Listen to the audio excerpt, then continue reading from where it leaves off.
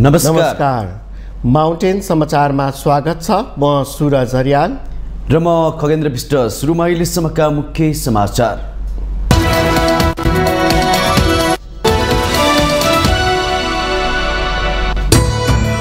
मो भरतपुर भन्ने नारासहित भरतपुर भ्रमण वर्ष दुई हजार चौबिसको आज सुरु। उद्घाटन कार्यक्रम प्रधानमन्त्री प्रचण्डसहित पाँचजना पूर्व प्रधानमन्त्री सहभागी हुने।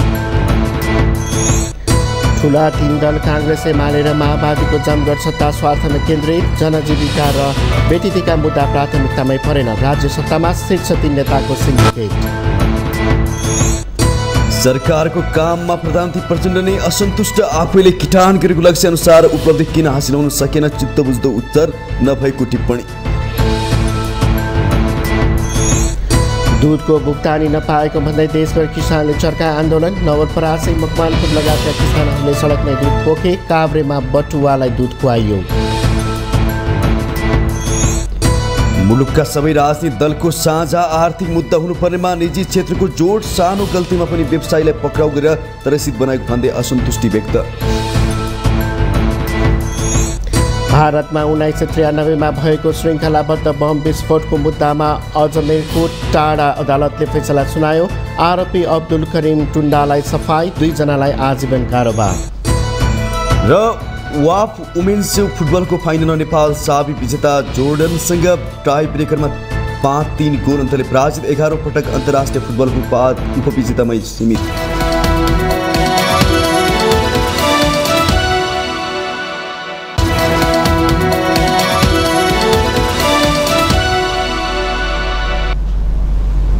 अब समाचार विस्तारमा। भरतपुर महानगरपालिकाको आयोजनामा घुमौ भरतपुर भन्ने नारासहित भरतपुर भ्रमण वर्ष दुई हजार चौबिसको आज औपचारिक रूपमा उद्घाटन हुँदैछ।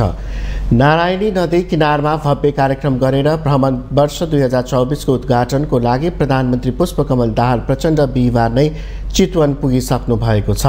उद्घाटन कार्यक्रममा प्रधानमन्त्री प्रचण्डसहित पाँच पूर्व प्रधानमन्त्री सहभागी हुने बताइएको छ। नेपाली काङ्ग्रेसका सभापति शेरबहादुर देवा प्रमुख प्रतिपक्ष दल नेकपा एमालेका अध्यक्ष केपी शर्मा ओली र पूर्व प्रधानमन्त्री झलनाथ खनाल पूर्व मन्त्री परिषद अध्यक्ष खेलराज रेग्मी पनि चितवन पुग्ने कार्यक्रम रहेको छ। नेकपा समाजवादीका अध्यक्ष माधव कुमार नेपाल भने बिहिबार नै चितवन पुगिसक्नु भएको छ। उद्घाटन कार्यक्रममा सबै प्रधानमन्त्रीलाई निम्तो गरिएको भए पनि पूर्व प्रधानमन्त्री डाक्टर बाबुराम भट्टराईले भने सहभागी हुन नसक्ने जानकारी पाएको भरतपुर महानगरपालिकाले जनाएको छ। भ्रमण वर्षको उद्घाटन कार्यक्रममा करिब पचास हजारजना उपस्थित हुने महानगरको अनुमान छ।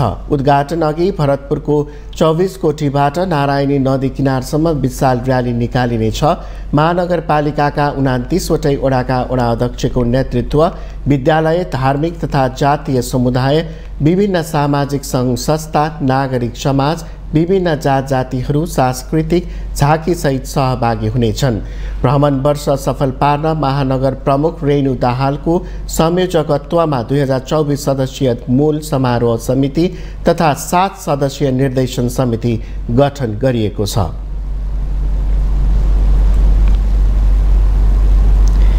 करिब सात अर्ब रकम पाउन नसक्दा देशभरका दूध उत्पादक किसानको बिचल्ली। मिटर ब्याज र लघु वित्तका पीडितहरूको पीडा आर्थिक शिथिलता युवाको विदेश पलायन रुस र युक्रेनको युद्धमा नेपालीहरूको ज्यान जाने क्रम बढ्दो छ।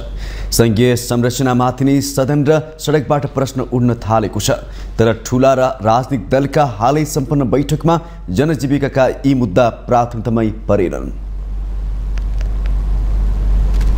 भर्खरै सम्पन्न ठुला तीन दल काङ्ग्रेस एमाले र माओवादीको ठुलो जमघटमा सत्ता स्वार्थ बाहेक जनजीविका र शासकीय व्यतिथिका मुद्दा प्राथमिकतामै परेनन्।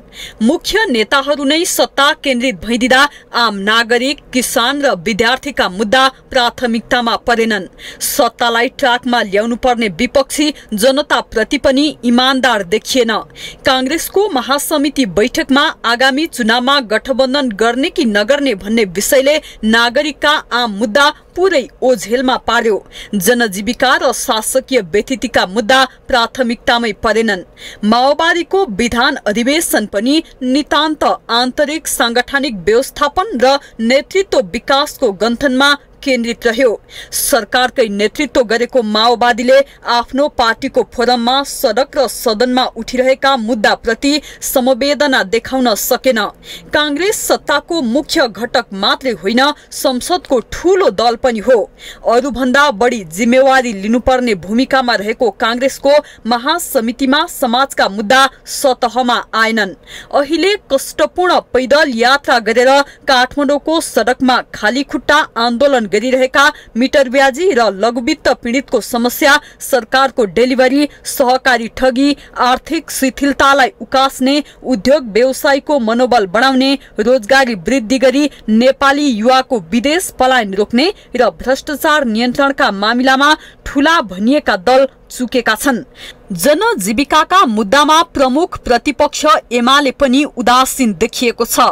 सरकारलाई जवाबदेही बनाउन बाध्य पार्नुपर्ने भूमिकामा भएको प्रमुख प्रतिपक्ष एमालेलाई सत्तासँगै सौदाबाजी गर्ने गरेको आरोप लाग्ने गरेको छ।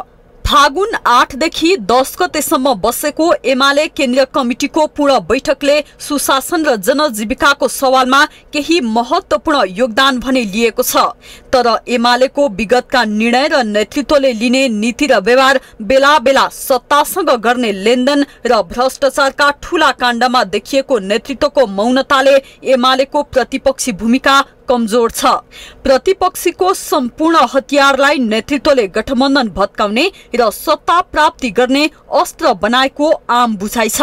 अहिले मुलुकमा राजनीतिक पार्टीहरूको जीवन नै मरिसकेको र दलहरू एउटा व्यक्तिको निजी स्वार्थ अनुसार चल्न थालेकाले यो भन्दा बढी आशा गर्ने ठाउँ नै नभएको विश्लेषकहरूको ठम्याइ छ।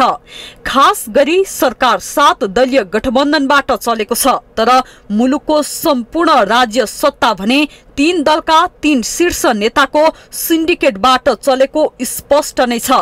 जीवनकै उत्तरार्धमा रहेका यी तीनै नेता दुई हजार चौरासी अघि नै सत्तामा पुग्ने होडबाजीमा छन्। सत्ताको लेनदेनमा लागेर उनीहरू समाज र आम जनजीविकाको मुद्दामा सौदाबाजीमै व्यस्त छन्। देउवा ओली र प्रचण्ड तीन नेताले पार्टीभित्र आफ्नो स्वार्थलाई नै माथि राखेर नीति र रणनीति बनाउन थालेको पनि धेरै भइसक्यो। दुई हजार चौहत्तरको निर्वाचनपछि राजनीतिक दलका मुख्य एजेन्डा सत्ता बाहेक अरू हुन सकेको छैन। तीनै अध्यक्षलाई पार्टीभित्र चुनौती कम भएकाले पनि जनजीविका र समाजका मुद्दा पछि पर्ने गरेको छ। मुख्य नेताहरू नै सत्ता केन्द्रित भइदिँदा आम मानिस किसान र विद्यार्थीका मुद्दा प्राथमिकतामा परेका छैनन्। दुई हजार चौरासीको चुनावमा तीन नेताको विकल्प दिन सक्दा मात्रै आम नागरिकमा दलप्रति आशा पलाउनेछ। प्रधानमन्त्री पुष्पकमल दाहाल प्रचण्डले राजनैतिक र प्रशासनिक नेतृत्वहरू निर्णय गर्न हिचकिचाउने प्रवृत्ति बढ्दै जानु राम्रो सङ्केत नभएको टिप्पणी गर्नुभएको छ। बिहिबार सिंहदरबारमा सरकारको अर्धवार्षिक समीक्षा गर्दै प्रधानमन्त्री प्रचण्डले राजनीतिक र प्रशासनिक नेतृत्वहरू निर्णय गर्न हिचकिचाउने नहुने टिप्पणी गर्नुभएको हो। उहाँले नीति कार्यक्रम र बजेटबीच तादाम्य नमिल्दा परिणाम आउन नसकेको उल्लेख गर्नुभयो।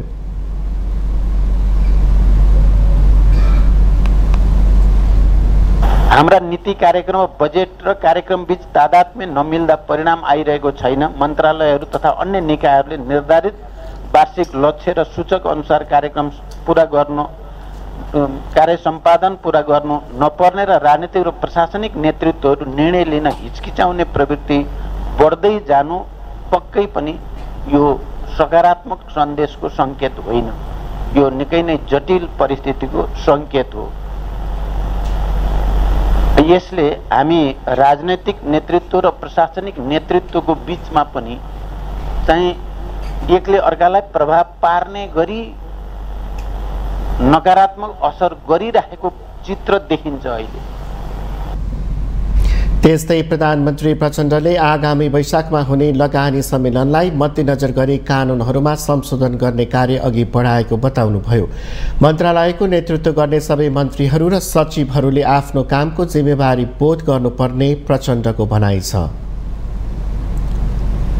पुँजीगत खर्चको वृद्धि एवं विकास आयोजना र कार्यक्रमहरूको व्यवधान रहित सञ्चालनका लागि अर्थ मन्त्रालय राष्ट्रिय योजना आयोग र विषयगत मन्त्रालयले संयुक्त रूपमा थप प्रयास गर्न आवश्यक देखिएको छ। आफू मातहतका आयोजनाको प्रभावकारी कार्यान्वयनमा पूर्ण उत्तरदायित्व वहन गर्दै नतिजा हासिल हुने गरी कार्य सम्पादन गर्न म सबैलाई विशेष जोड र मेहनत गर्न निर्देशित पनि गर्न चाहन्छु। यस समीक्षाबाट पृष्ठपोषणमा बाट चालु आर्थिक वर्षको कार्ययोजनामा उल्लेख भए बमोजिमका क्रियाकलाप माइलस्टोन र उपलब्धिहरू निर्धारित समयमै सम्पन्न गर्न म मान्ने मन्त्रीज्यूहरूलाई विशेष रूपले आग्रह गर्न चाहन्छु र सबै सचिवज्यूहरूलाई पनि। अर्थमन्त्री डाक्टर महतप्रति लक्षित गर्दै प्रचण्डले मनोगत रूपमा सरकारका योजना र कार्यक्रम बनाउँदा अहिले परिमार्जन गर्नुपर्ने हटाउनु घटाउनु पर्ने स्थिति देखा परेको बताउनुभयो। उहाँले माघ मसान्तसम्म सकिनुपर्ने एक हजार सात सय सडसठीवटा माइलस्टोनमध्ये छत्तिस प्रतिशत मात्रै सम्पन्न हुनु एकाउन्न प्रतिशत चालु अवस्थामा र चौध प्रतिशत सुरु नै हुन नसकेको अवस्था रहेको उल्लेख गर्नुभयो। चालु आर्थिक वर्षको नौ महिना बितिसक्दा पनि कामको गति हेर्दा सरकारको कार्यक्षमतामाथि नै प्रश्न उठेको प्रचण्डको भनाइ छ। परराष्ट्र मन्त्री नारायण प्रकाश साउदले छिमेकीलाई पहिलो प्राथमिकताको आधारमा व्यवहार गर्न थालेको बताउनु भएको छ। बिहिबार नेपाल विश्व सम्बन्ध परिषदको वार्षिक उत्सव कार्यक्रममा परराष्ट्र मन्त्री साउदले छिमेकीलाई पहिलो प्राथमिकताको आधारमा व्यवहार गर्न थालेको बताउनु भएको हो। भारत र चिनसँगको सुमधुर सम्बन्धले मात्र देशको विकास सम्भव भएको भन्दै मन्त्री साउदले नेपाल सधैँ पारस्परिक विश्वास र सम्मानका आधारमा छिमेकीहरूसँगको सम्बन्ध कायम राख्ने उल्लेख गर्नुभयो। दुवै छिमेकी मुलुकसँगको सहकार्य पुरानो र गहिरो भएको नेपालको भूखण्ड हिमालयका दुवै छिमेकी विशाल भूभागहरू बिचको एउटा प्रवेशद्वार भएकोले महत्त्वपूर्ण रहेको मन्त्री साउदको भनाइ थियो। नेपालले छिमेकमा भइरहेको आर्थिक समृद्धि र रूपान्तरणको द्रुत गतिबाट फाइदा उठाउन सक्नुपर्ने मन्त्री साउदले बताउनुभयो। Historically an interport between the vast territories on both sides of Himalayas Nepal wants to take advantage of the rapid pace and scale of economic prosperity and transformation taking place in the neighborhood. Enhanced connectivity, trade and investment are priority areas in our engagements with our with both neighbors.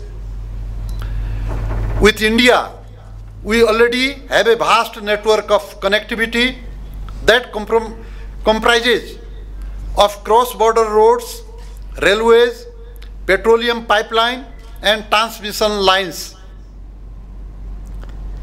मन्त्री साउद्री नेपालले प्रमुख विश्व शक्तिहरूसँगको सम्बन्ध र विश्वास विश्व राजनीतिलाई नजिकबाट निर्णयको विकास साझेदारहरूसँगको सम्बन्ध पनि प्राथमिकताको विषय रहेको स्पष्ट गर्नुभयो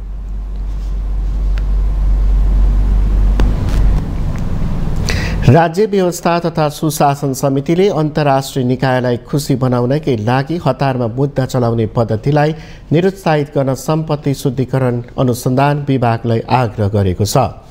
बिहिबार प्रतिनिधि सभा अन्तर्गतको राज्य व्यवस्था तथा सुशासन समिति बैठकमा सम्पत्ति शुद्धिकरण सम्बन्धी भएको छलफल पश्चात समितिले विभागलाई यस्तो आग्रह गरेको हो।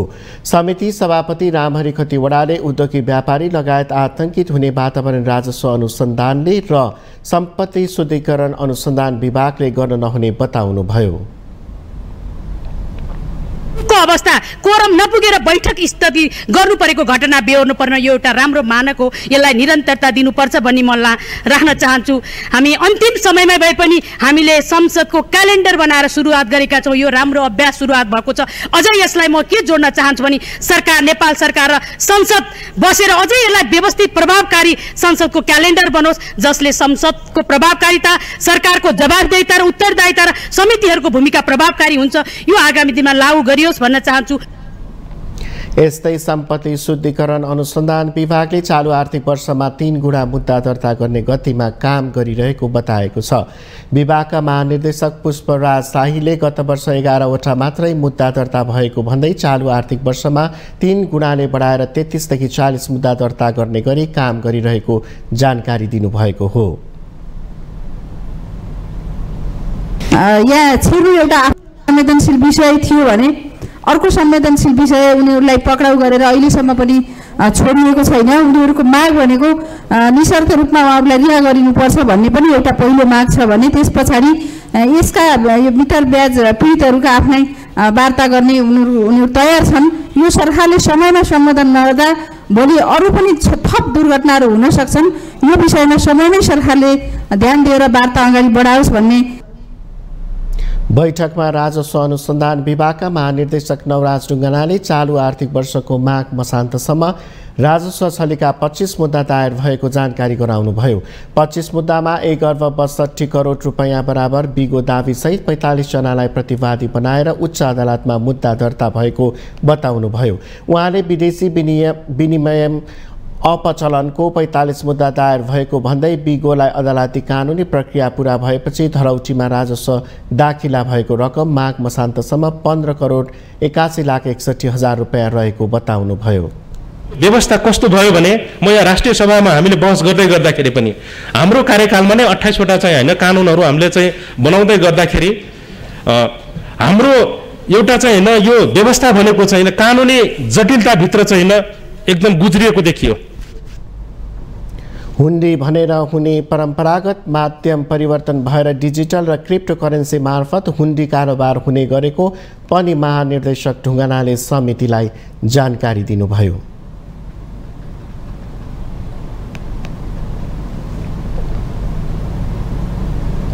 माउन्टेन समाचारमा पालो भएको छ विश्रामको।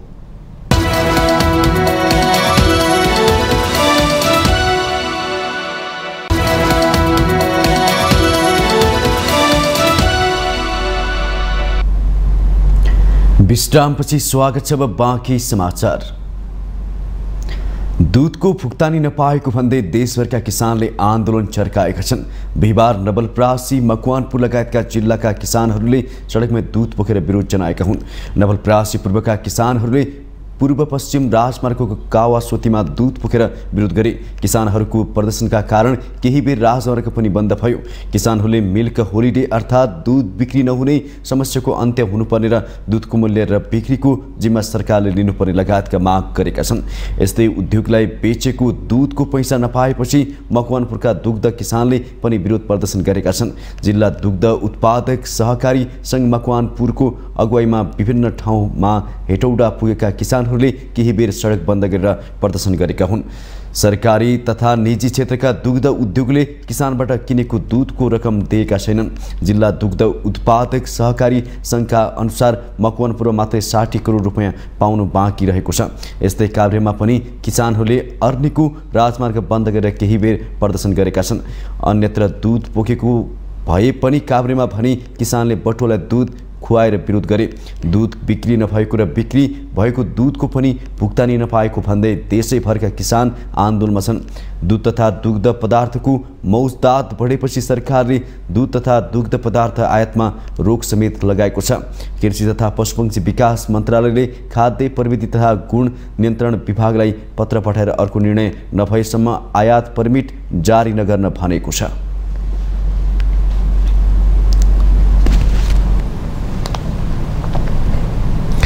राष्ट्रिय प्रजातन्त्र पार्टी राप्रपाले रसिया र युक्रेनको युद्धमा नेपालीहरूलाई सहभागी गराएको भन्दै यस विषयमा प्रतिनिधि सभामा छलफल गर्न जरुरी सार्वजनिक महत्त्वको प्रस्ताव दर्ता गरेको छ।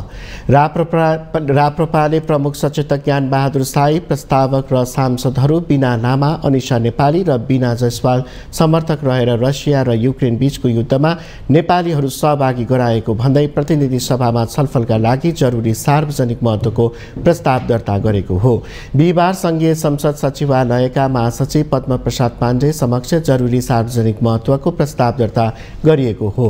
प्रस्तावमा नेपालीहरूलाई आर्थिक प्रलोभनमा पारी रसिया र युक्रेन युद्धमा सहभागी गराएको उल्लेख छ।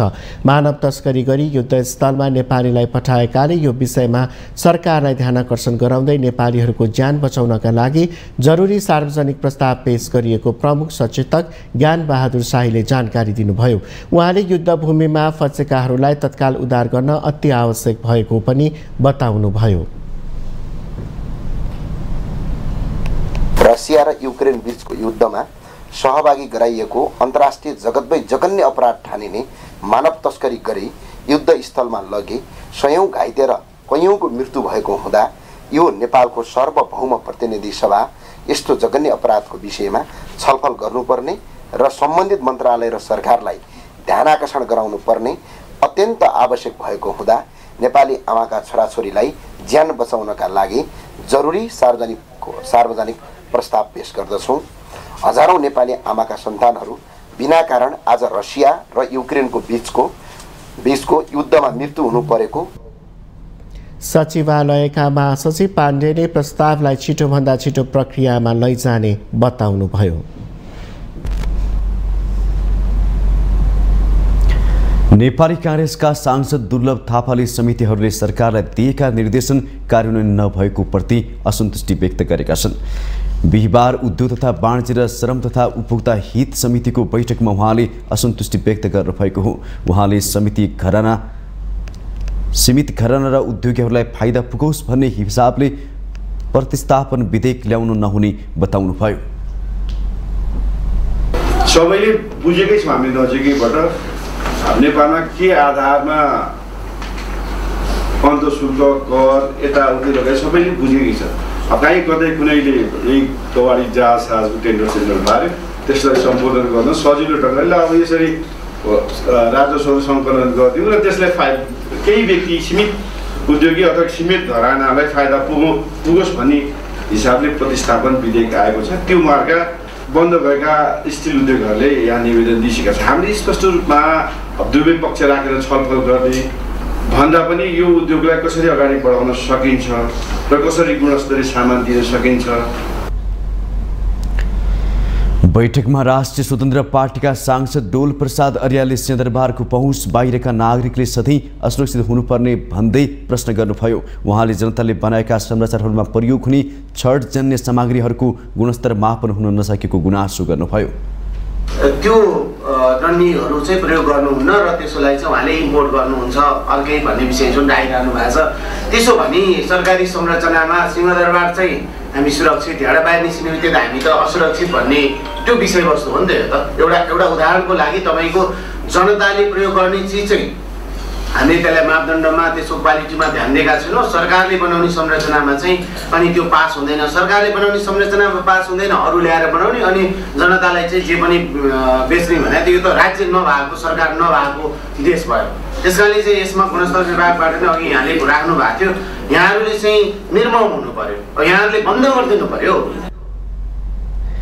यस्तै नेकपा एकीकृत समाजवादीका सांसद कृष्ण कुमार श्रेष्ठले समितिले दिएका निर्देशन कार्यान्वयन नगरेको बारे प्रधानमन्त्रीलाई बोलाएर ध्यान आकर्षण गराउनु पर्ने धारणा समस्या छ भन्नुभएको छ होइन अब यही डन्डीबाट पुल बन्ने बिल्डिङ बन्ने हाइड्रो बन्ने सुरुङ बन्ने भनौँ जति पनि पूर्वाधारहरू बन्ने छ यो गम्भीर कुरा छ यसलाई धेरै समय अब कति मेरो ख्यालमा लाग्छ ऱ्यापिड स्तरमा नै छलफल गरेर यसलाई अब समितिले अब यो यो यसभन्दा अगाडिको प्रधानमन्त्रीज्यूलाई नै हामीले उपस्थित गराएर यो समितिले गरेका निर्णयहरू हामीले दिएका निर्देशनहरू किन मानिएन सरकारले भन्ने कुरा यो एकदम गम्भीर छ।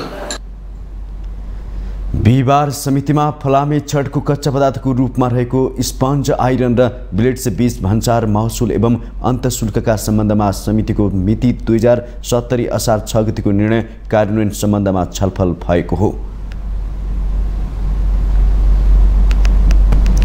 भौतिक पूर्वाधार तथा यातायात मन्त्रालयका सचिव केशव कुमार शर्माले आगामी आर्थिक वर्ष दुई हजार एकासी बयासीमा बजेटको सिलिङ नबढाएमा नयाँ विकास निर्माणको योजना ल्याउन नसकिने बताउनु भएको छ।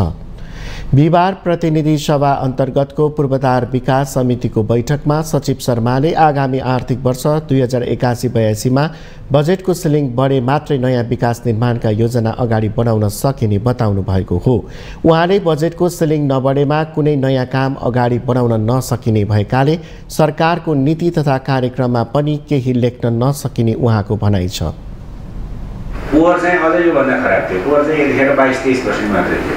उन्तिस पर्सेन्ट मात्रै छ। त्यो पनि अस्ति अलिकति यो गत वर्षको भुटानी गरेर भएको अहिले पाँच छ अर्ब हामीलाई गत वर्षकै भुटानीको पाइन्छ त्यो गर्न पाउने हो भने हामी त पैँतिस जति पुगिहाल्थ्यौँ खर्चको सिनारीहरू त्यस्तो हुन्छ। यहाँ त मैले खालि किन नयाँ काम गर्न सकेन अथवा किन यो प्रगति हुँदैन भन्ने कुरामा चाहिँ मैले यो जाहेर गरेँ। यही कुरा हाम्रो सिलिङ यति नै हो त भनेर थपिन्छ कि? होइन भने त हामी त केही पनि गर्न सक्दैनौँ। त्यो नीति कार्यक्रम पनि केही पनि नलेखेको हुन्छ। चालु आर्थिक वर्षको मन्त्रालयको खर्च हालसम्म उनातिस प्रतिशत भएको र छ अर्ब रुपियाँ गत वर्षकै भुक्तानी गर्न बाँकी रहेको पनि उहाँको भनाइ छ।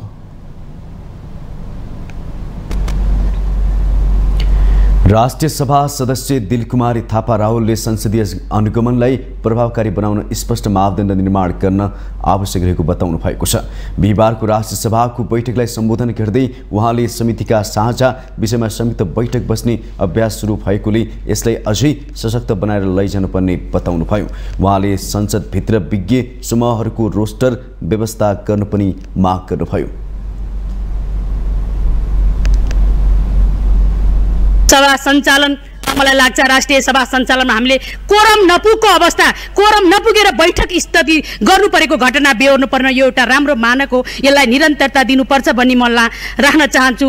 हामी अन्तिम समयमा भए पनि हामीले संसदको क्यालेन्डर बनाएर सुरुवात गरेका छौँ। यो राम्रो अभ्यास सुरुवात भएको छ। अझै यसलाई म के जोड्न चाहन्छु भने सरकार नेपाल सरकार र संसद बसेर अझै यसलाई व्यवस्थित प्रभावकारी संसदको क्यालेन्डर बनोस् जसले संसदको प्रभावकारिता सरकारको जवाबदेहिता र उत्तरदायिता र समितिहरूको भूमिका प्रभावकारी हुन्छ। यो आगामी दिनमा लागू गरियोस् भन्न चाहन्छु। बैठकमा राष्ट्रिय सभा सदस्य विमला घिमिरेले मिटर ब्याज पीडितहरूका माग सम्बोधन गर्न सरकारसँग आग्रह गर्नुभयो। उहाँले काठमाडौँमा आन्दोलन गर्दै आइरहेका मिटर ब्याज पीडितहरूको कुरा सरकारले नसुनेपछि संसद भवनको परिसरमै छिरेर आन्दोलन गर्न बाध्य भएको अवस्थालाई सरकारले गम्भीर रूपमा लिनुपर्ने बताउनुभयो। यहाँ छिरिङ एउटा आफैमा संवेदनशील विषय थियो भने अर्को संवेदनशील विषय उनीहरूलाई पक्राउ गरेर अहिलेसम्म पनि छोडिएको छैन। उनीहरूको माग भनेको निशर्त रूपमा उहाँहरूलाई रिहा गरिनुपर्छ भन्ने पनि एउटा पहिलो माग छ भने त्यस पछाडि यसका यो मिटर ब्याज पीडितहरूका आफ्नै वार्ता गर्ने उनीहरू उनीहरू तयार छन्। यो सरकारले समयमा सम्बोधन नगर्दा भोलि अरू पनि थप दुर्घटनाहरू हुन सक्छन्। यो विषयमा समयमै सरकारले ध्यान दिएर वार्ता अगाडि बढाओस् भन्ने यस्तै राष्ट्रिय सभा सदस्य हरिराम चौधरीले देशको अर्थतन्त्र झनै खस्किदो अवस्थामा रहेको बताउनुभयो उहाँले पछिल्लो समय नेपाली विद्यार्थीहरूको विदेश पलायनका कारण पनि अर्थतन्त्रको ठुलो हिस्सा बाहिरिरहेको जिकिर गर्नुभयो। हामी आफै पनि त्यसै पनि एउटा गरिबी र एउटा भोकमरी अथवा चाहिँ गरिबीको एउटा चाहिँ रेखामुनि रहेको हाम्रो मुलुक हो। र अहिले पनि शिक्षा स्वास्थ्य रोजगारीका समस्याहरू व्यापक रूपमा छन्। अहिले पनि तल्लो एउटा तलसम्म चाहिँ होइन शिक्षाका थुप्रै प्रकारका अभावहरू छँदै नै छन्। र यो परिवेशमा हाम्रो मुलुकको अहिलेको व्यवस्था कस्तो भयो भने म यहाँ राष्ट्रिय सभामा हामीले बहस गर्दै गर्दाखेरि पनि हाम्रो कार्यकालमा नै अठाइसवटा चाहिँ होइन कानुनहरू हामीले चाहिँ बनाउँदै गर्दाखेरि हाम्रो एउटा चाहिँ होइन यो व्यवस्था भनेको चाहिँ होइन कानुनी जटिलताभित्र चाहिँ होइन एकदम गुज्रिएको देखियो। देशको विकास र समृद्धिसँग जोडिएका कुरालाई सरकारले आवश्यक चासो दिन नसकेको राष्ट्रिय सभा सदस्यहरूको गुनासो छ।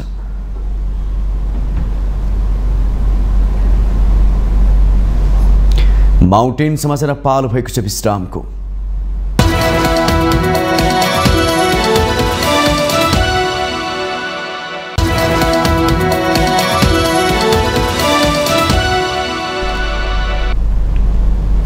विश्रामपछि स्वागत छ। अब बाँकी समाचार। राष्ट्रिय सभाको आजको बैठकमा छ वर्ष पदावधि पुरा गरी विदाय हुन लागेका सांसदहरूको अनुभव सुनाएका छन्। सदस्यहरूको माग अनुसार राष्ट्रिय सभाका अध्यक्ष गणेश प्रसाद तिमल सिन्हाले आगामी दिनमा उपयोगी हुन सक्ने भन्दै अनुभव प्रस्तुत गर्ने समय उपलब्ध गराएपछि सांसदहरू बोलेका हुन्। सम्मान्य अध्यक्ष एउटा सांसदप्रति जनता असीमित अपेक्षा जनताका दैनिकीसँग जोडिएका जोडिएका समस्या सम संसदमा उठाउनु गर्नुपर्ने दायित्वलाई मैले आफ्नो क्षमताले भ्याएसम्म प्रयास गरे। साथै नीति निर्माणमा सहभागी हुँदा विविध विषयमा ज्ञानको अभाव हुने रहेछ। कतिपय विधेयक प्रस्तुत हुँदा काग हुँदा कुहिरोको काग जस्तो भइँदै रहेछ। अर्कोतिर पार्टीको निर्देशन पालना गर्नु परेर बाध्यता आफ्नो पार्टीमा सर आफ्नो पार्टी सरकारमा हुँदा र विपक्षमा हुँदा संसदमा बोल्ने अवस्था फरक हुँदो हुँदा अप्ठ्यारो महसुस हुने जस्ता विविध अनुभव एउटा सांसदको रूपमा मैले अनुभूति गर्ने अवसर पाएँ। यहाँ नआएको भए नेपालको राजनीति र संसद चाहिँ वास्तवमा मैले बुझ्ने थिइनँ। मेरो लागि यो विश्वविद्यालय भन्दा पनि ठुलो ज्ञान भण्डारको रूपमा रह्यो।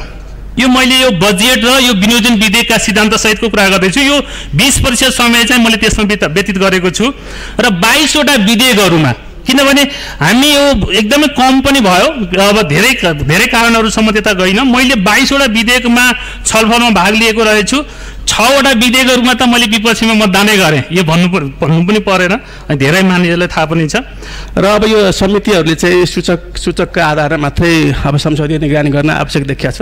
कुनै पनि कुराको विस्तृत अध्ययन गरेर मात्रै निर्देशन दिने त्यसको निरन्तर अनुगमन गऱ्यो भने मात्रै नतिजा पुग्न सकिन्छ भन्ने कुरा देखिएको छ बिचमा विधि निर्माणमा सदस्यले अरूको प्रभावमा नपरिकन आफ्नो विवेकपूर्ण तरिकाले ऐन कानुन बनाउने कुरामा सांसदहरूले त्यो भूमिका खेल्नुपर्छ।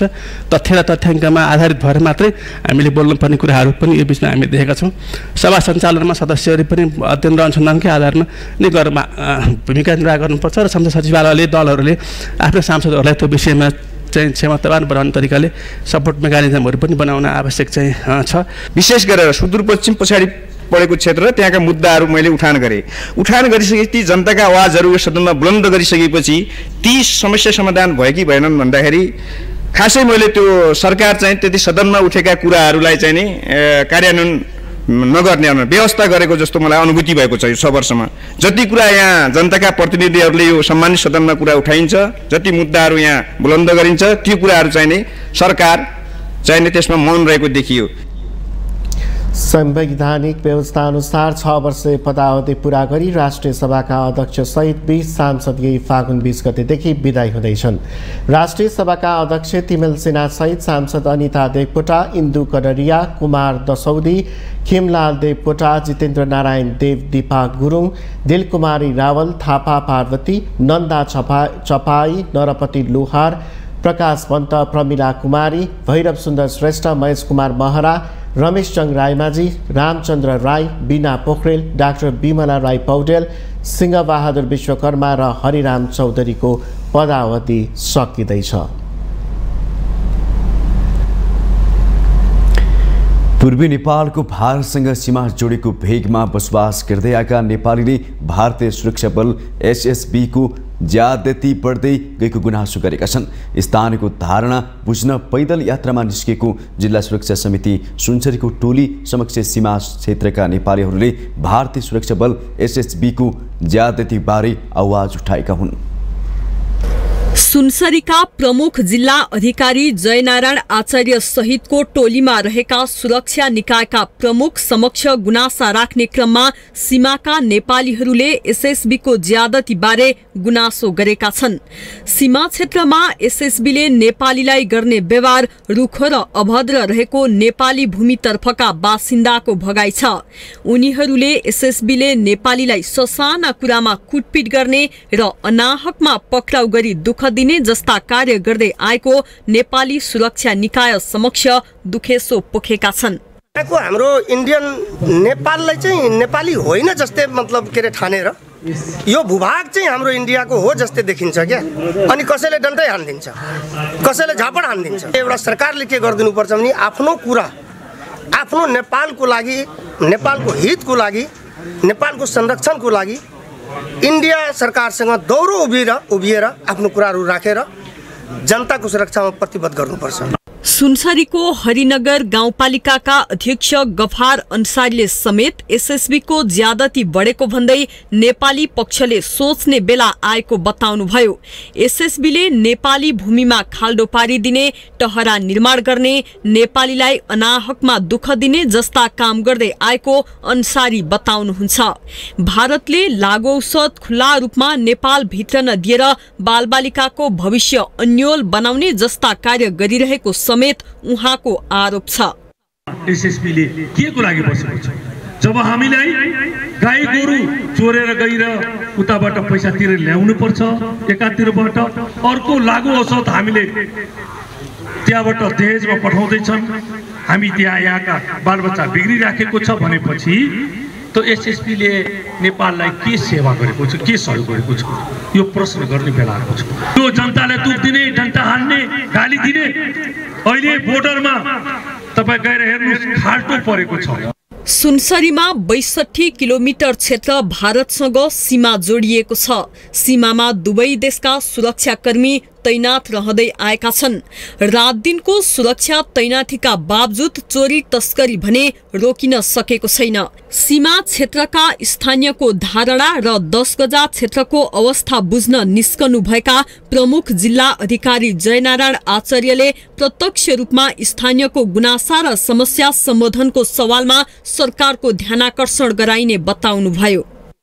एक एकसट्ठी पोइन्ट नौ किलोमिटर सेयर गर्छु इन्डियासँग। त्यो एकसट्ठी पोइन्ट नौ किलोमिटर फिल्ड लेभलबाटै बुझ्दा यहाँको समग्र समस्या हामीले दुई देशीय छलफल हुँदाखेरि कुराहरू राख्न सकिने ठाउँहरू हुन्छ छलफल हाम्रो तर्फबाट सम्बोधन गर्ने चिजहरू हुनसक्छ। र हाम्रो नागरिकहरूले सीमाका पर जाने उहाँहरू त्यसो त उहाँहरूसँग नजिक पुगेर उहाँहरूको विषयमा जानकारी गरौँ भन्ने मुख्य उद्देश्य र के गर्न सकिन्छ त फर्दर कहाँनिर के के समस्याहरू छन् त्यो सबै कुराहरू बुझाइरह्यो सबैका लागि राम्रो अँ, इन्डियन काउन्टर पार्टका लागि पनि राम्रो र हाम्रा लागि पनि राम्रो। यात्राको क्रममा स्थलगत अनुगमन सँगै वस्तु स्थिति बारेको प्रत्यक्ष जानकारी प्राप्त भएको बताइएको छ। भारतीय एसएसबी बारे नेपालीको धारणा र नेपाली भूमिमा भारतीय टहरा बनाइएको भन्ने जस्ता विषय सहित स्थानीयले उठाएका मुद्दा दुई देशीय सुरक्षा समितिको बैठकमा कुरा उठाउने समेत तयारी भइरहेको छ।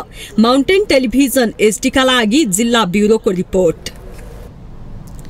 जापानको राजधानी टोकियोमा नेपाली पत्रकारहरूको अन्तर्राष्ट्रिय सञ्जाल इन्जाको अन्तर्राष्ट्रिय सम्मेलन दुई हजार चौबिस सुरु भएको छ।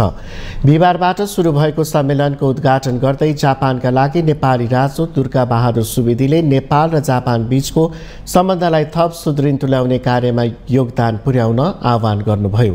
उहाँले जापान र नेपालको सम्मत सन् उन्नाइस सय छप्पन्न कूटनीतिक रूपमा औपचारिक सम्बन्ध रहेको बताउँदै नेपाल र जापान बीच सामाजिक धार्मिक सांस्कृतिक र जनस्तरको सम्बन्धमा कायम रहेको बताउनुभयो। उहाँले जापान नेपाली शिक्षाको इतिहासले जोडिएको बताउनुभयो। गोदावरी फुल र हेलुबावेत जापानबाटै नेपालमा आइपुगेको दावी समेत गर्नुभयो। साथै उहाँले इन्जाले अप्ठ्यारोमा परेका पत्रकारहरूलाई गर्दै आइरहेको सहयोग तथा नेपालीपन र नेपाली मन बचाउने कार्यमा पुर्याएको योगदान महत्त्वपूर्ण भएको जिकिर गर्नुभयो। एउटा इन्ट्रेस्टिङ कुरा चाहिँ एउटा रोचक कुरा चाहिँ त्यो बेला जापानमा अध्ययन गरेर फर्किनु हुने ती आठजना विद्यार्थीहरूले गोदावरी भन्ने फुल यहाँबाट लिएर जानुभएको रहेछ त्यो चाहिँ। र अहिले नेपालमा जुन प्रसिद्ध गोदावरी फुल छ त्यो त्यो चाहिँ जापानबाट हलुवा वेद र गोदावरी भन्ने दुईटा नेपालमा प्रसिद्ध बनाएको थिए नि आठजना विद्यार्थीहरूले। त्यसैले सम्मेलनमा इन्जाका अध्यक्ष गुणराज लुइटेलले आगामी दिनमा इन्जालाई अझ व्यवस्थित ढङ्गले अघि बढाउनु पर्नेमा जोड दिनुभयो। उहाँले विश्वभर रहेका पत्रकारहरूबीच इन्जाले समन्वय र सहकार्य गरिरहेको सन्दर्भमा यसको दृष्टिकोण र लक्ष्य अनुरूपको योजनालाई प्राथमिकतामा राखी काम गर्न आग्रह गर्नुभयो। संसारमा जति विश्वविद्यालय भए पनि नेपालकै पत्रकारिताको विश्वविद्यालय चाहिँ नेपालको लागि चाहिँ जान्छ।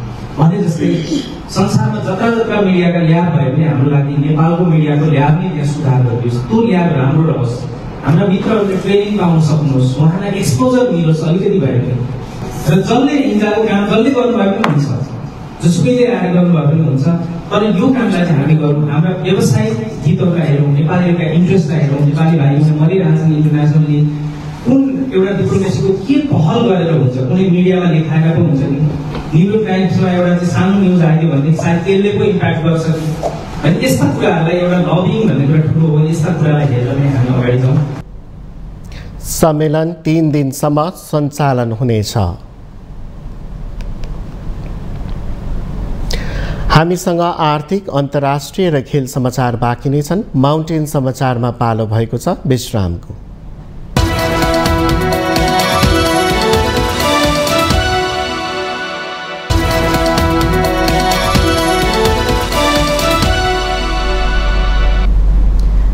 विश्रामपछि स्वागत छ पालो आर्थिक समाचारको। आर्थिक समाचारको साथमा। प्लम्बर पाइप्स र फिटिङ टिकिरहन्छ चलिरहन्छ।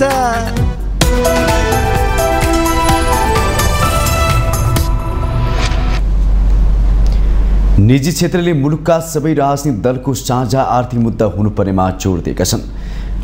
बिहिबार प्रतिनिधि सभा अन्तर्गतको राज्य व्यवस्था तथा सुशासन समिति सबै निजी क्षेत्रका प्रतिनिधिहरूले आर्थिक मुद्दा साझा धारणा हुनुपर्नेमा जोड दिएका हुन्। उनीहरूले फरक फरक सिद्धान्त बोकेका राजनीतिक दलहरू भए पनि मुलुकलाई आर्थिक रूपमा समृद्ध बनाउने विषयमा एकमत हुनुपर्नेमा जोड दिए। निजी क्षेत्र पनि यदि चाहिँ यो ओभरसाइड एजेन्सीहरू जुन चाहिँ बिसौँ बाइसौँ चाहिँ भन्नाले हाम्रो एजेन्सीहरू चाहिँ छ निजी क्षेत्रलाई हेर्ने। त्यो उहाँहरूलाई नै जिम्मेवारी बनाऊ न कि एडिसनल चाहिँ ओभरसाइडको हिसाबमा यदि चाहिँ राखियो भने मलाई लाग्छ यो प्राइभेट सेक्टरले जुन असी पर्सेन्टभन्दा बढी चाहे रोजगारीको कुरा गरौँ चाहे राजस्वमा चाहिँ कन्ट्रिब्युसनको कुरा गरौँ चाहे ओभरअल इकोनोमीमा चाहिँ जुन कन्ट्रिब्युसन गरेको निजी क्षेत्रको जुन चाहिँ जुन एउटा एउटा प्रम्प्ट हिसाबले चाहिँ काम गरिराखेको चाहिँ छ त्यो चाहिँ ब्रेक लाग्न सक्छ भन्ने कुरा म चाहिँ राख्न चाहिँ चाहन्छु। एउटै काम कहिले देवानी र कहिले फौजदारी दायित्वका रूपमा कारवाही हुन सक्ने भनेर यो अधिकारीको तजविजमा भएकोले पनि यो ठुलो समस्याको रूपमा देखिया छ। र हामीले यसमा यो स्पष्ट रूपमा भयो भने कुन चाहिँ देवानी हो कुन चाहिँ फौजदारी हो भन्ने हुन्छ। अर्को यो राजस्व अनुसन्धान विभागको ऐनमा यो पचास लाख रुपियाँभन्दा बढीको बिगो हुनेमा मुद्दा चलाउनु पर्ने नै भन्ने एउटा बाध्यता राखिएको छ। जबकि पचास लाख रुपियाँ एक हिसाबले धेरै कम हो यो बिगो र जरिवाना जोड्दाखेरि दस लाख रुपियाँको पनि कुनै कर छली छ नियतवश या अन्जानवश भएकोमा पनि पचास लाख पुग्ने देखिन्छ। जुन किसिमको सरकारी प्रक्रिया एउटा कुनै करको केस आए पनि राजस्व अनुसन्धानले पनि हेर्ने सम्पत्ति सूचीकरणले पनि हेर्ने त्यो किसिमको चारैतिर हुनुभन्दा पनि एकढुवाल सर्भिस दिउँ। कसैले नियम मिच्छ भने पक्कै पनि उसलाई चाहिँ कारवाही गरिनुपर्छ। देशको कानुनभन्दा माथि कोही हुनु हुँदैन। र चाहिँ हामी कहाँ समस्या के छ भने कुनै एउटा समस्यामा बलियो पनि महिनौँ महिनौँ त्यसैमा फस्ने र त्यो मान्छे चाहिँ कायापलट हुने र चाहिँ विदेश छिन बाध्य हुने किसिमको यस्तो अवस्था छ। यस्तो हुनु हुन्न भन्ने कुरा चाहिँ राख्न चाहन्छु। हरेक व्यवसायमा चाहिँ इन्फर्मल च्यानलकै अब दबदबा छ।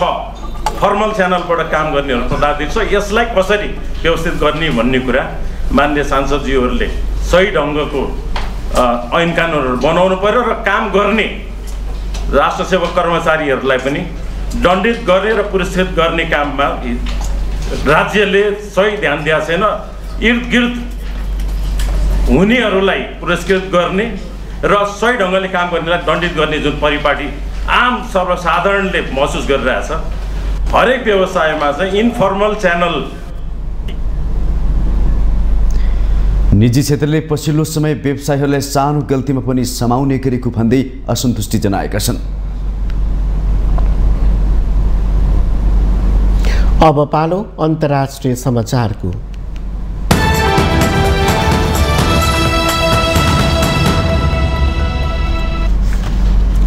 भारतको अजमेरको टाढा अदालतले सन् उन्नाइस सय त्रियानब्बेमा देशका पाँच सहरमा भएका श्रृङ्खलाबद्ध बम विस्फोटको मुद्दामा बिहिबार फैसला सुनाएको छ। मुद्दामा अदालतले मुख्य अभियुक्त अब्दुल करिम टुन्डालाई सफाई दिएको छ भने अन्य दुईजना हमेदुहिन र इरफानलाई आजीवन कारावासको सजाय सुनाएको भारतीय सञ्चार माध्यमहरूले जनाएका छन्। सन् उन्नाइस सय त्रियानब्बेमा बाबरी मस्जिद ध्वस्त भएको वर्षगाँठमा मुम्बई हैदराबाद कानपुर लखनऊ र सुरतमा रेलमा श्रृङ्खलाबद्ध बम विस्फोट भएका थिए। सिबिआईले टुन्डा विरुद्ध टाडा एन आइपिसी रेलवे एन हतियार एन विस्फोटक एन सम्बन्धी कुनै प्रमाण पेश गर्न सकेन। त्यसैले अदालतले सबै धारा र एनबाट टुन्डालाई सफाई दिएको छ। फेब्रुअरी सत्ताइसमा टाडा अदालतमा सुनाइ सकिएको छ।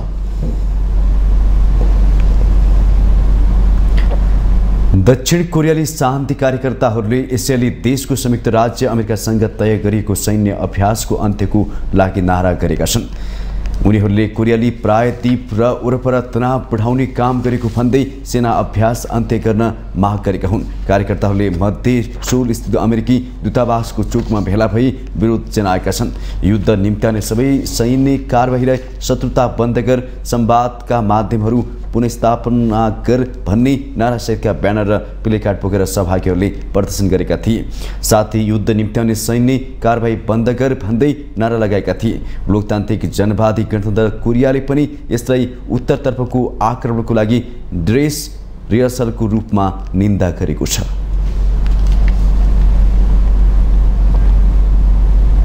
अब पालो खेल समाचारको।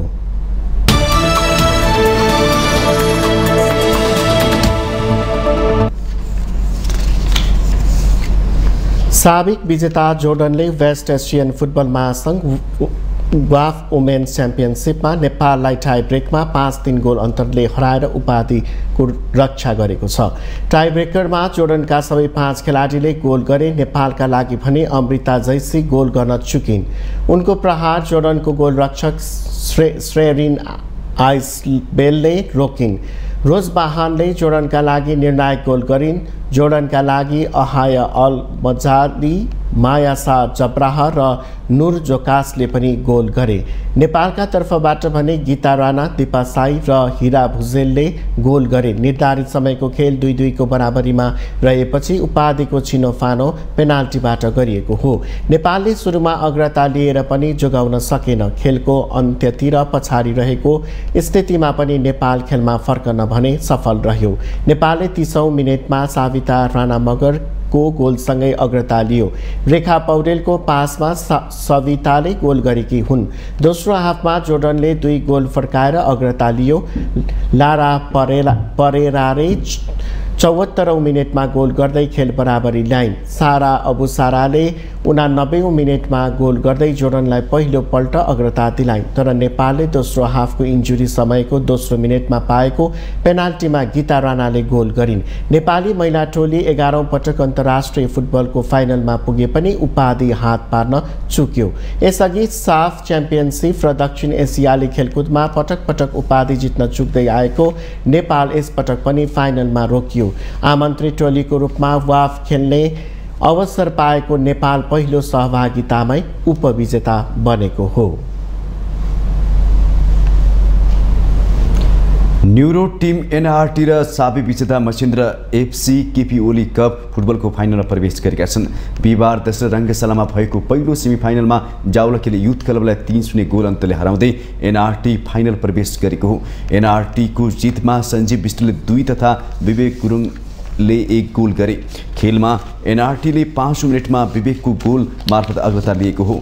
दोस्रो हाफमा सञ्जीव विष्टले दुई गोल गर्दै एनआरटीलाई फ्राकिलो जित दिलाए खेलको उनपचासौँ मिनटमा पहिलो गोल गरेका सञ्जीवले छप्पन्नौ मिनटमा पुनः दोस्रो गोल गरेका थिए। यस्तै सोही दिन भएको अर्को खेलमा भारतीय टोली माने भन्ज्याङ एफसीमाथि पाँच शून्यको फ्राकिलो जित दर्ता गर्दै मसिन्द्रले फाइनलमा आफ्नो स्थान पक्का गरेको हो। खेलको पहिलो गोल विमल घरती मगरले उत्कृष्ट फ्री किक प्रहार गर्दै गरेका थिए। लाकेन लिम्बुले आफ्नो हाफबाटै क्लियर गरेको बलमा वान अन वान अवसर बढाउँदै स्टेफन बिनोङले किपरलाई चिप गर्दै गोल गरेका थिए। अडतिसौँ मिनटमा मसिन्द्रले आत्मघाती गोल गर्यो। चौन्न मिनटमा मसिन्द्रका उत्सव राईले चौथो गोल गरे। पाँचौँ गोल आयुष घलानले इन्जुरी समयमा गरे। फाइनल फागुन उन्नाइस गते दश रङ्गशालामा हुनेछ। प्रतियोगिताको विजेताले एघार लाख रुपियाँ र दोस्रो हुने टोलीले पाँच लाख रुपियाँ प्राप्त गर्नेछन्। राष्ट्रिय युवा सङ्घ नेपालले आयोजना गरेको प्रतियोगितामा दुई विदेशी सहित दस टोलीले सहभागिता जनाएका थिए।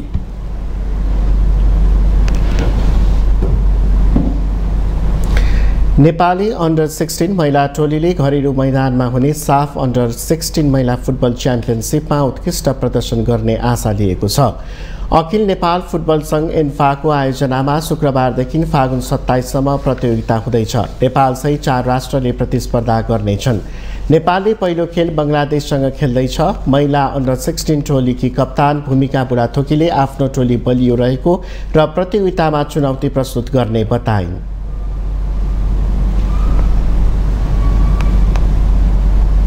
टिमबाट केही कुराहरू सिकेका छौँ र हामीभन्दा अगाडि ठुलो दिदीहरूले नि राम्रो गर्दै जानुभएको छ।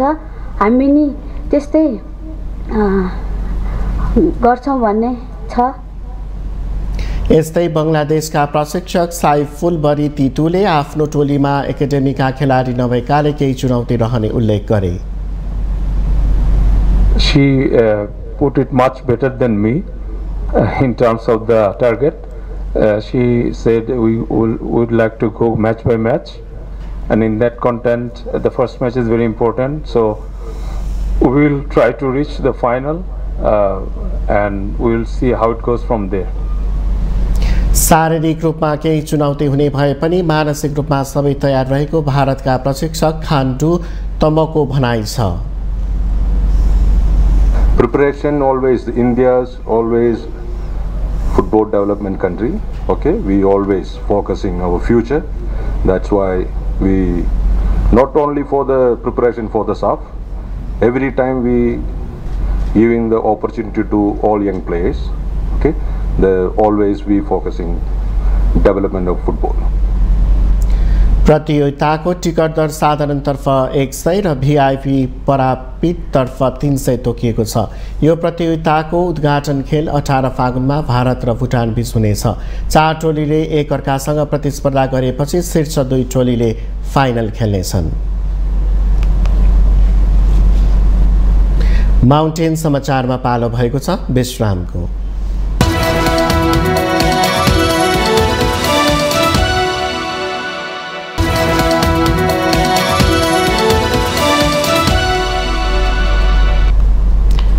विश्रामपछि स्वागत छ सँगै हामी माउन्टेन समाचारको अन्त्यमा आइपुगेका छौँ। जाँदा जाँदै मुख्य समाचार पुनः एकपटक।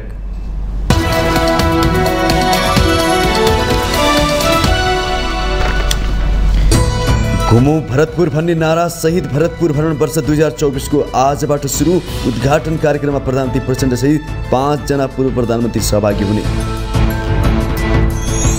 ठुला तीन दल काङ्ग्रेस एमाले र माओवादीको जमघट सत्ता स्वार्थमै केन्द्रित। जनजीविका र बेटितीका मुद्दा प्राथमिकतामै परेन। राज्य सत्तामा शीर्ष तीन नेताको सिन्डिकेट। सरकारको काममा प्रधानमन्त्री प्रचण्ड नै असन्तुष्ट। आफैले किटान गरेको लक्ष्य अनुसार उपलब्धि किन हासिल हुन सकेन? चित्तो बुझ्दो उत्तर नभएको टिप्पणी। दुधको भुक्तानी नपाएको भन्दै देशभर किसानले चर्काए आन्दोलन। नवलपरासी मकवानपुर लगायतका किसानहरूले सडकमै दुध पोखे। काभ्रेमा बटुवालाई दुध खुवाइयो। मुलुकका सबै राजनीतिक दलको साझा आर्थिक मुद्दा हुनुपर्नेमा निजी क्षेत्रको जोड सानो गल्तीमा पनि व्यवसायीलाई पक्राउ गरेर तरसित बनाएको भन्दै असन्तुष्टि व्यक्त। भारतमा उन्नाइस सय त्रियानब्बेमा भएको श्रृङ्खलाबद्ध बम विस्फोटको मुद्दामा अजमेरको टाढा अदालतले फैसला सुनायो। आरोपी अब्दुल करिम टुन्डालाई सफाई दुईजनालाई आजीवन कारावास। र वहाम्स वोमेन फुटबलको फाइनलमा नेपाल साबिक विजेता जोर्डनसँग टाई ब्रेकर पाँच तिन गोल अन्तरले अपराजित एघारौँ पटक अन्तर्राष्ट्रिय फुटबलको उपविजेतामै सीमित।